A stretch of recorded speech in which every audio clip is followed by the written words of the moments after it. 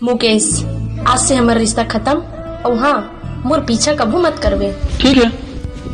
इतना घमन इज़्ज़त वो भी खुद के।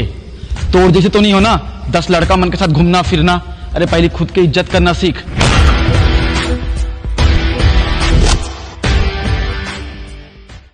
मुकेश आज पूरा एक साल हो गए हमर ला दूर हुए। ते भूल गिस मोला और हमर कसम वादला।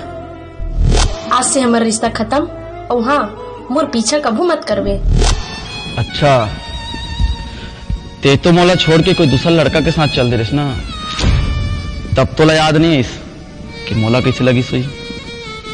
आज मोर पास नाम है, फेम है। तब तो याद आते।